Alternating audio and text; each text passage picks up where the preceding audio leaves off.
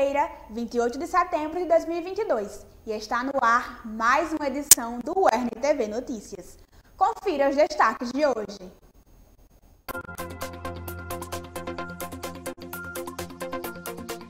Uma tarde de domingo inclusivo. Veja como foi o evento que faz parte da programação do Setembro Verde. Conheça as principais orientações para votar nas eleições 2022.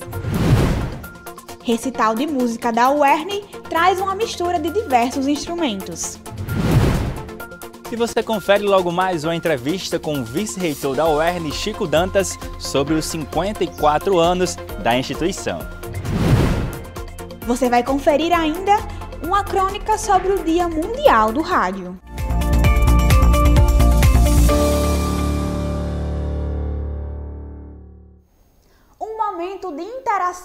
E socialização reuniu familiares de crianças e adolescentes deficientes como forma de lutar pela inclusão e acessibilidade dessas pessoas. O Domingo Inclusivo fez parte da programação do Setembro Verde. Nossa equipe foi conferir de perto esse momento.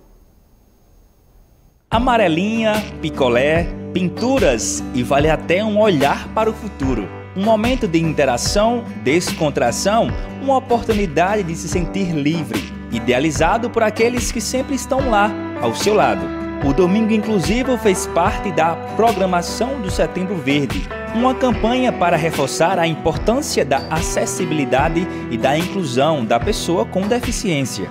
Como mãe de uma criança autista, juntamente com outras mães, a gente enfrentava dificuldade realmente de momentos de lazer, momentos mais agradáveis para sair daquela rotina de terapia, de clínicas. Então a gente se uniu, idealizou esse projeto. Queremos abraçar, né, que todas as deficiências sejam englobadas nesse nesse calendário, nesse evento. Uma tarde dinâmica, com amigos, familiares, profissionais de diversas áreas, em uma luta pela inclusão das pessoas com deficiência, que teve atividades, lazer, troca de experiência para aprender e celebrar o Setembro Verde. Para as mães dos pequenos, esses eventos despertam uma convivência com outras crianças e ainda um contato direto com a natureza. Promove a ele uma interação social. Gabriel, graças a Deus, ele é uma criança muito sociável. É assim, graças a Deus não tenho dificuldade com eles não, com ele não. Mas assim, é, eu vejo que é importante para qualquer criança. Porque aqui a gente tem assim um ambiente muito bom. É bom para qualquer pessoa. E para eles, assim, que tem mais uma dificuldade né, de, de interação, então, assim, é essencial. A gente sabe que dia 21 de setembro a gente, é, foi o Dia Internacional de Luta da Pessoa com Deficiência. Né?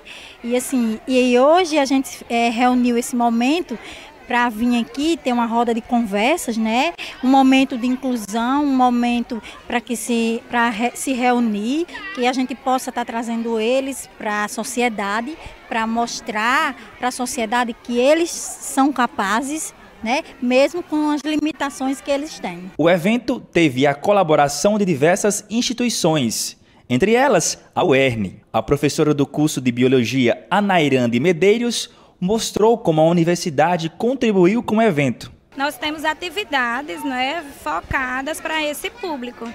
Então hoje nós estamos trazendo aqui três atividades. A UERN está trazendo o tapete interativo do curso de Ciências Biológicas, onde aqui as crianças ela têm a oportunidade do uso da criatividade. Trouxemos também a pintura, não é? Porque as crianças elas gostam muito de pintar. E temos também o Funcional Kids, né, Departamento de Educação Física, esse funcional kids, atividades específicas. A gente procura trazer para um domingo inclusive atividades que essas crianças possam desenvolver e que elas se sintam felizes, né? Aqui com a gente, brincando, interagindo e é bem assim. O evento foi realizado no Parque Municipal de Mossoró, espaço muito frequentado pela população em geral mas que ainda necessita de acessibilidade. A gente quer tornar todos os espaços inclusivos, é, observar a acessibilidade do parque, porque quando a gente pensou num local, né, a gente questionou se era um local acessível. E a gente tendo hoje um evento aqui, a gente vê que ainda tem algumas barreiras que precisam ser quebradas. Para os donos da festa, o evento foi gratificante. O sentimento de felicidade era encontrado em cada gesto.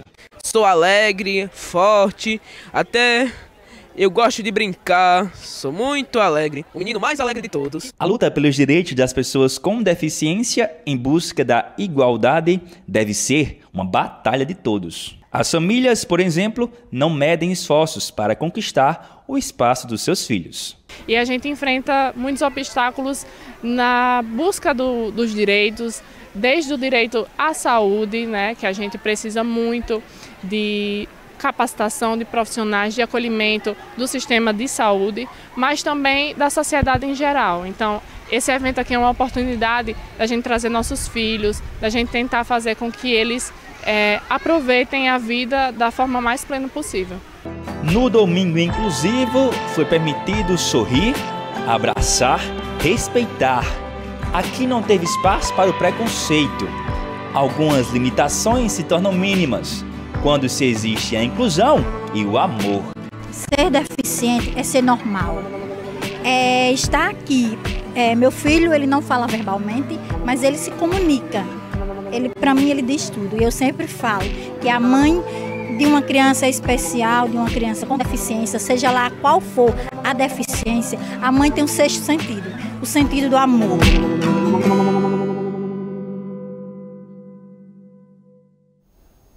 Próximo fim de semana vão acontecer as eleições 2022, mas muitas pessoas ainda têm dúvidas sobre o que pode ou não fazer no dia do pleito. Para entender o processo eleitoral, a repórter Vitória Alves traz mais informações. Bom dia, Vitória! Bom dia, Marília. Aqui no Rio Grande do Norte, a gente tem 2,5 milhões de pessoas que estão aptas a votar. Essas eleições irão acontecer no dia 2 de outubro. E para saber mais sobre elas, estamos aqui com Luiz Sérgio Monte, chefe da, da 33ª Zona Eleitoral. Bom dia, Luiz Sérgio. Quais são os documentos que são necessários para a eleição? Bom dia a todos. A gente orienta o eleitor a necessariamente estar portando, junto à sessão eleitoral, um documento de identificação com foto. Então o eleitor tem que levar o seu RG tradicional do ITEP, ou a sua carteira de motorista com foto, ou a carteira de trabalho, ou o passaporte emitido pela Polícia Federal.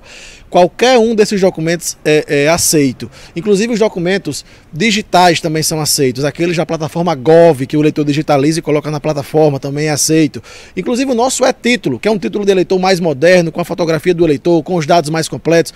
Então, estando munido de um desses, o eleitor é autorizado a votar. O títulozinho de eleitor tradicional, aquele verde, é um documento que não é necessário e nem é suficiente, porque ele não identifica o eleitor. Então, o eleitor ele deve estar portando um documento de identificação com foto. E de preferência até o e-título, que é um título moderno, como eu falei, que pode ser baixado no seu celular até o sábado de véspera da eleição. E o que é que a gente pode ou não pode fazer na hora da eleição? Olha, no dia da votação, a gente orienta o eleitor né, que ele é permitido é, comparecer à sua sessão portando é, as propagandas de seu candidato, desde que seja de modo individual e silencioso. No dia da eleição, são combatidas as propagandas sonoras e qualquer tipo de aglomeração, sobretudo próximo aos locais de votação e, sobretudo, pessoas portando é, a vestimenta com a mesma cor. Então, se você vai de maneira individual, é, portando ali sua propaganda, sua preferência por meio de adesivos, de, de broches, de bandeira na sua mão, bandeira pequena, logicamente, não há problema algum que ele compareça à sua sessão manifestando ali a sua preferência, desde, como eu falei, de maneira individual e silenciosa. E entregar santinho, pode? Não, a entrega de santinho no dia da eleição configura crime de boca de urna, sujeito a um infrator aí até uma prisão em flagrante no dia da eleição. Santinhos devem ser distribuídos até as 10 horas da noite do sábado. É, aberta a votação no domingo, é proibido qualquer tipo de aliciamento, de abordagem de eleitor, de transporte com fim da obtenção de voto, né? E também a distribuição de santinho. Qualquer uma dessas condutas configura crime de boca de urna, inclusive o chamado voo da madrugada, né? Uma conduta infeliz que ganhou esse nome, que é aquela conduta de, de despejar santinhos na frente dos locais de votação, fazendo com que os locais de votação amanheçam bastante sujos ali na sua frente. Então, essa conduta de despejar Santinho pela madrugada também será objeto de, de, de averiguação, de, de, de repressão, para ver se nós conseguimos aí efetuar a prisão até em flagrante dos responsáveis. Então, qualquer uma dessas condutas no dia da eleição configura crime de boca de urna e sujeita os infratores até uma prisão em flagrante. Em questão de justificativa, como é que a gente faz para justificar a falta do voto? Olha, o eleitor que estiver fora do seu domicílio eleitoral, no domingo, ele tem que fazer a sua justificativa de ausência. Para isso, ele pode fazer no dia da eleição ele pode acessar, ele pode entregar o formulário tradicional preenchido em qualquer sessão eleitoral de qualquer colégio onde esteja havendo votação. Ele pode acessar o sistema Justifica do TSE na internet. Ele pode baixar o e-título no celular e enviar sua justificativa pelo próprio e-título. O e-título hoje é uma ferramenta moderna que identifica até que você está fora do seu domicílio eleitoral pela localização do dispositivo e permite o envio de sua justificativa. E ainda, após a eleição, o eleitor tem 60 dias para comparecer ao cartório eleitoral e aí deve entregar algum documento que dê amparo à justificativa que vai alegar. Se estava doente, tem que apresentar um atestado. Se estava a trabalho, tem que trazer uma declaração, né, a fim de ser abonada a sua falta. Se não fizer nenhuma coisa nem outra, ele fica sujeito à aplicação de uma multa. Uma multa simbólica, um valor pequeno, que hoje corresponde a R$ 3,50. Muito obrigada, Luiz Sérgio. E é importante a gente lembrar que o primeiro turno acontece dia 2 de outubro e o segundo turno, caso seja necessário, irá acontecer no dia 30 de outubro. Muito obrigado. Volto com você, Marília. Obrigada, Vitória. Você vai ver agora a crônica da repórter Clara Fonseca em homenagem ao rádio, esse meio de comunicação tão presente no nosso cotidiano.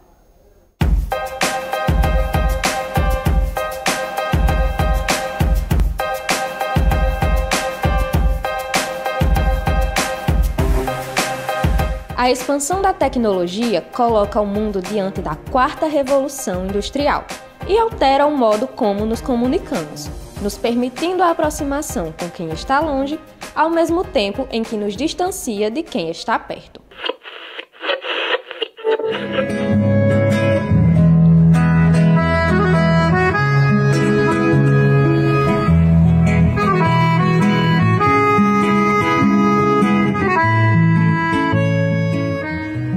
Por décadas, o rádio foi o meio de comunicação mais importante, estando presente na vida de milhares de brasileiros, seja na cozinha, no carro, na mesa do bar ou reunindo a família na calçada e embalando aqueles pequenos momentos do dia a dia com trilhas sonoras que enchem o nosso peito de saudade quando ouvimos aquelas canções novamente.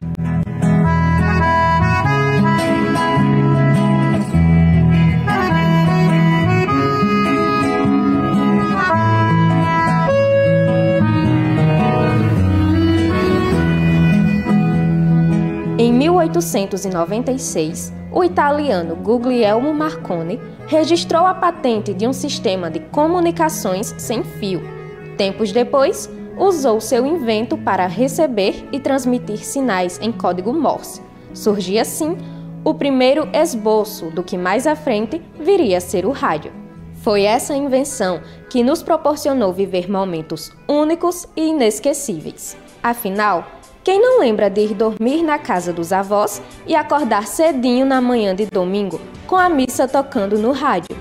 Ou a sensação indescritível de ouvir o locutor falando nosso nome na lista de aprovados no vestibular? Ligar o rádio pela manhã e estar tocando a nossa música favorita, simplesmente por acaso? Ou ouvir os sucessos que marcaram a nossa adolescência?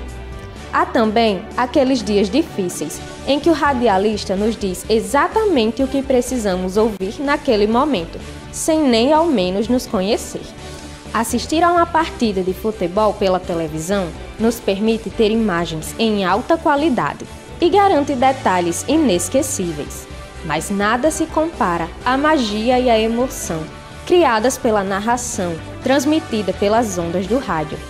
Alguns torcedores apaixonados mantêm a tradição de ir ao estádio e ouvir a partida através de um radinho a pilha e repassam esse costume de geração em geração, garantindo o protagonismo deste veículo nos dias atuais. Muito além de um canal de entretenimento, o rádio também é o meio mais democrático e acessível, utilizado pelas pessoas para se informarem dos fatos. Ele atinge todas as classes sociais gêneros e idades, Em qualquer lugar que nós vamos, tem sempre um rádio ligado, transmitindo as notícias do dia. Mais que só um equipamento eletrônico, o rádio é um companheiro fiel que nos faz rir, chorar, dançar, cantar e relembrar momentos e pessoas especiais. Ele faz a música entrar em nossos ouvidos e chegar ao coração, afetando de forma profunda e oferecendo uma experiência singular e ao mesmo tempo plural para os ouvintes. São esses pequenos momentos de felicidade que fazem o rádio ser tão importante e presente em nossas vidas.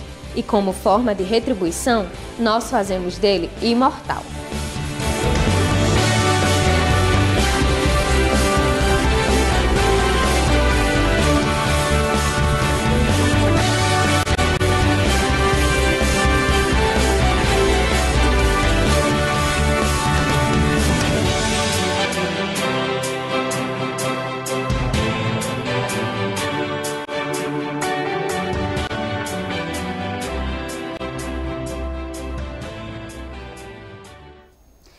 Vai ver no próximo bloco uma entrevista sobre as comemorações pelos 54 anos da UERN.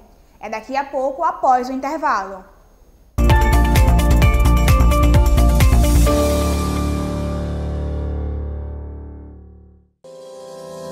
Educação, ciência, saúde, sociedade e muito mais informação para você. Os assuntos mais comentados da semana você acompanha no URNTV Notícias. Toda quarta-feira, às 11h30 da manhã, no canal 23.1 e também no YouTube da URNTV. Verde no campo e comida na mesa. Conheça as histórias de quem faz a agricultura familiar do nosso Nordeste. Uma produção da URN-TV e Hiperlab, em parceria com o governo do estado do RN. Não perca, toda quarta às 12 horas, um novo episódio. Vozes do Semiárido, aqui na URN-TV. Toda quinta-feira, às 11h30 da manhã, você confere o programa Saúde em Foco. Informações sobre diversas áreas da saúde com profissionais especializados para tirar todas as suas dúvidas. Toda quinta-feira, às 11h30 da manhã, no canal 23.1 e também no YouTube da URTV. Que tal desvendar pequenos e grandes mistérios comigo? Eu estou pronta para investigar todas as curiosidades e os principais assuntos da biologia. É isso aí, a gente vai se encontrar para falar sobre ciências humanas, plantas, animais, de tudo um pouquinho. E esses assuntos vão dar o que pensar, hein? Partiu? Biologando, toda quarta, sete e meia da noite, no Futura.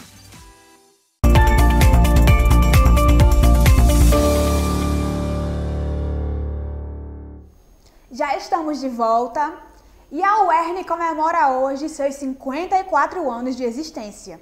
E logo mais acontecerá a tradicional Assembleia Universitária, evento que encerra as comemorações.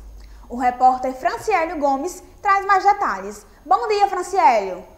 Bom dia, Marília. Bom dia para quem está em casa. Uma felicidade para nós, uernianos. Hoje faz 54 anos da UERN, né? Vamos conversar agora com o vice-reitor Chico Dantas para falar mais um pouco sobre a programação desses 54 anos. Chico, bem-vindo ao nosso é, UERN TV Notícia. É, Chico, para você, como é que é comemorar os 54 anos dessa instituição tão importante para a sociedade? Obrigado pelo convite, Franciélio. É, é um momento realmente muito feliz para todos nós. Nós chegamos aos 54, da, 54 anos da instituição com a sensação de dever cumprido, com a sensação que a universidade está cada vez mais fortalecida à medida que ela entrega a cada dia uma quantidade maior de pessoas bem formadas, à medida que cada dia ela transforma vidas, fortalece a pesquisa, o ensino e a extensão. Para você ter uma ideia, Franciélio, nós chegamos aos 54 anos de instituição com um número muito importante. Ao longo desse tempo todinho, a universidade já emitiu mais de 53 mil diplomas. O que é que significa isso? 53 mil vidas transformadas ao longo dessa jornada. Então é, uma, é um sentimento de gratidão pela existência da universidade e também uh, um sentimento de felicidade e entusiasmo para o que muito ainda vai acontecer, né, guiado e conduzido pela nossa instituição. E essa semana tem uma vasta programação, né? Eu queria falar para o pessoal que tem aqui em casa como é que foi essa programação dessa semana. É, a, programação né, comemorativa aos 54 anos, ela se intensificou da semana passada para cá, cá. Semana passada nós tivemos a missa, em ação de graças ao aniversário da instituição, tivemos um culto evangélico. Essa semana ontem tivemos um culto aos orixás e hoje nós encerramos esse momento de celebração, de comemoração com a nossa tradicional assembleia, que acontecerá às 16 horas aqui pertinho no Teatro Lauro Monte a partir das 16 horas. Então, é uma cerimônia aberta, toda a comunidade uerniana e toda a comunidade potiguar está convidada a comparecer e prestigiar conosco, celebrar esse momento tão importante. Chico, nesses 54 anos, né, vocês estão à frente, faz um ano esse mês agora de setembro, você e Cecília, é muita coisa foi conquistada, né? Quais são os próximos desafios? É, nós tivemos aí grandes conquistas, conquistas históricas de gerações. Tivemos a autonomia financeira, tivemos o plano de cargos, carreiras e remuneração dos nossos servidores técnicos e docentes. Tivemos também o fim da lista tríplice, entre outras grandes ações. Então, é, é, essas conquistas, principalmente essas três que eu acabei de citar, ela cria uma base, ela nos fortalece e nos faz com que a gente siga de uma forma mais firme e mais segura em relação aos desafios, que é o fortalecimento da própria autonomia, o pensar da expansão da nossa universidade, sempre olhando para a vocação onde cada campo está instalado e fortalecer, obviamente, a qualidade da nossa formação, tanto em pesquisa como ensino e também as ações de extensão. A universidade ela funciona, sempre funcionou e vai continuar funcionando de portas abertas à universidade, para a comunidade. Né? Nós trabalhamos pautados pela sociedade e para a sociedade. Então, acho que consolidar isso é sempre um desafio e não pode afastar do nosso dia a dia. Chico, muito obrigado. Eu que agradeço. Para quem está em casa, que quer acompanhar a Assembleia, aniversário que vai acontecer hoje no Teatro Lauro Monta, Teatro Lauro Monta às 16 horas. Você pode acompanhar através do canal da UERN no YouTube, ou então, para você que é de Mossoró, pode acompanhar através do canal 15.2 da TCM. Voltamos com você, Marília. Obrigada, Franciélio. E está acontecendo desde a última segunda-feira, no Teatro Lauro Montefilho, recitais de músicas. O evento está sendo realizado pela Escola de Música Dalva Estela Nogueira Freire, da UERN. Confira na reportagem de Franciélio Gomes e Estela Vieira. Artistas no palco, luzes e a plateia presente. Últimos ajustes e atenção, o show vai começar.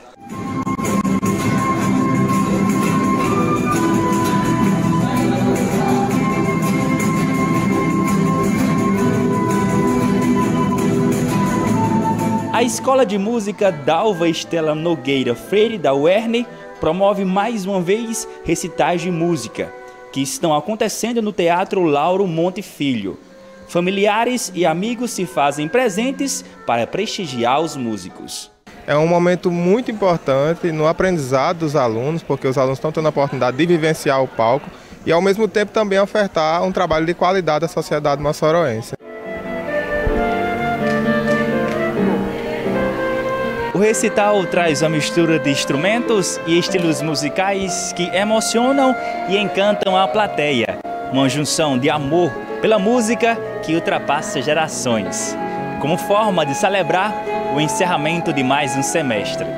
O evento permite ao público apreciar a beleza única de cada instrumento e ainda prestigiar duetos como este entre pai e filho, violão e flauta transversal, entoando a música Paçoca, um clássico do compositor brasileiro Celso Machado.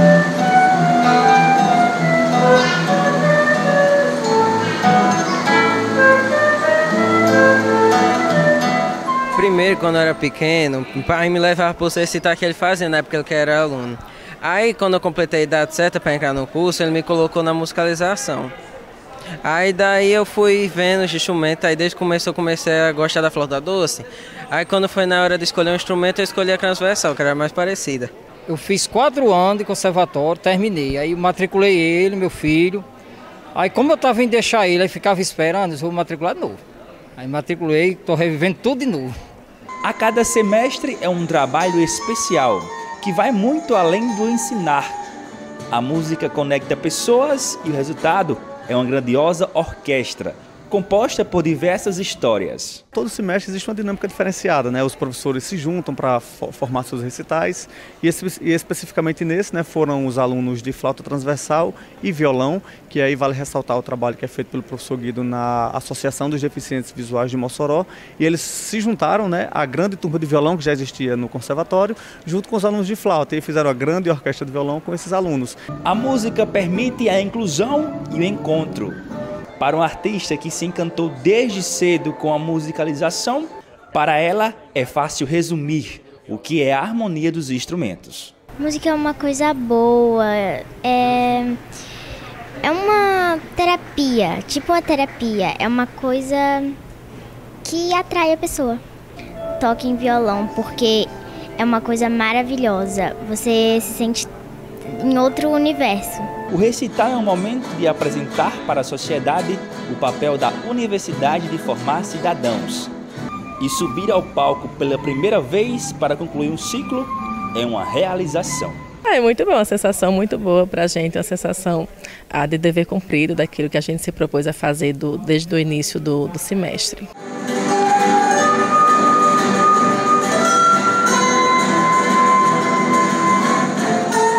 Música é algo abstrato, imaterial. Não podemos tocá-la. É quase impossível achar uma única definição. Uma infinidade de possibilidades e sentimentos. Música é esporte, é hobby, é lazer e é vida. Paz. Música para mim é o afago para a alma, assim.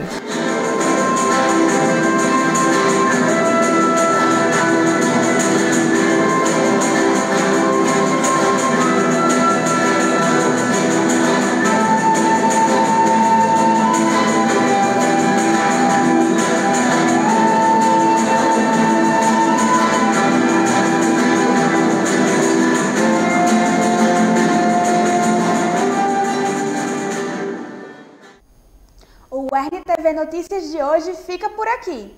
Obrigada por sua companhia e não deixe de nos seguir no Instagram, arroba URNTV e no youtube.com barra URNTV. Voltaremos na próxima quarta-feira com mais informações. Tchau, tchau!